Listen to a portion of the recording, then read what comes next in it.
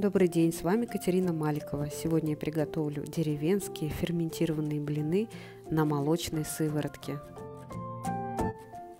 Примерно за один день нам нужно подготовить ферментированное тесто. Для этого понадобится молочная сыворотка, пшеничная мука, обычная белая, и мультиварка с функцией йогурт. Если у вас нет мультиварки, то можно сферментировать тесто в обычной кастрюльке эмулированной, но для этого уйдет примерно двое суток, и нужно поставить кастрюлю в теплое место. Ну а у тех, у кого есть мультиварка, время приготовления теста займет примерно 8 часов. То есть мы ставим а, в мультиварку тесто а, на ночь и утром уже начинаем готовить блины. Итак, нужно смешать муку и сыворотку в чаше мультиварки и хорошенько перемешать, чтобы не было комочков. Все количество ингредиентов я указала в описании к этому видео.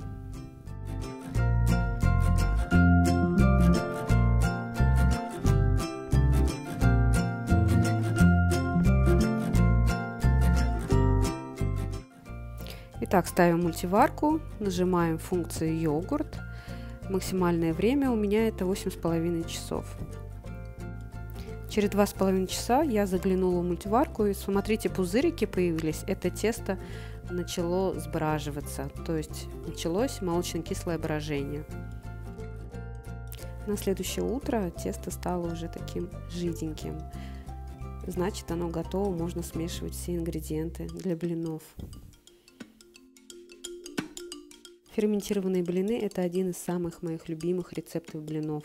И я с уверенностью вам могу сказать, что он 100% получается у всех.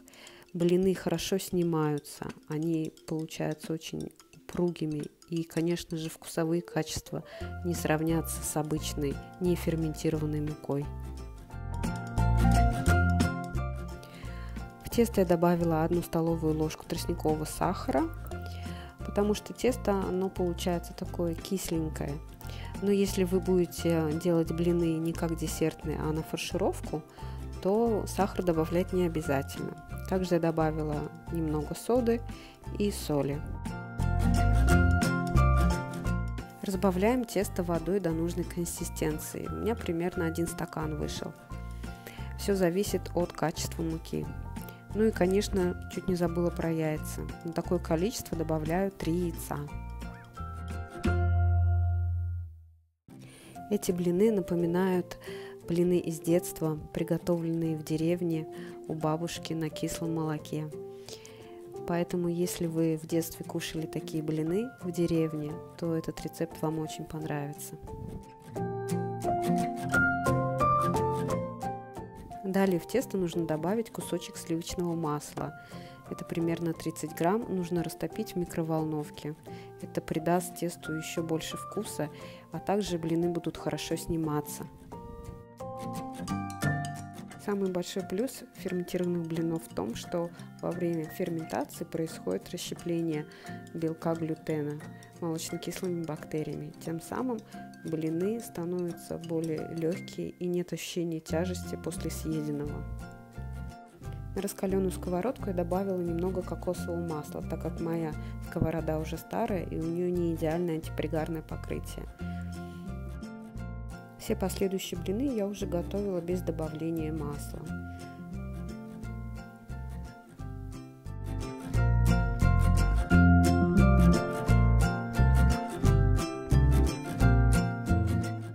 Когда края блинчика начинают отставать от сковородки, можно переворачивать.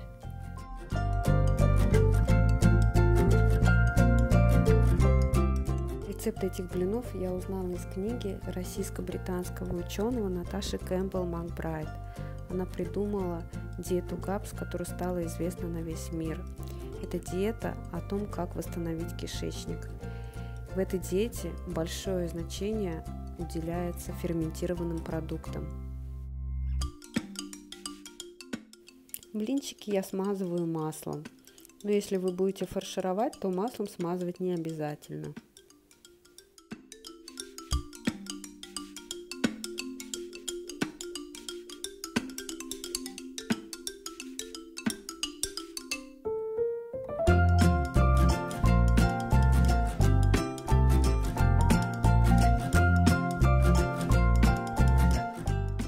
Кстати, эти блины идеально подходят для фаршировки, потому что они имеют кисловатый вкус и отлично сочетаются с мясом.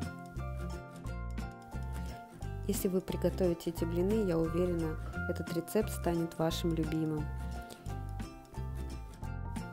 Я желаю вам приятного аппетита. Оставляйте мне комментарии, ставьте лайки и подписывайтесь на мой канал. И до новых встреч!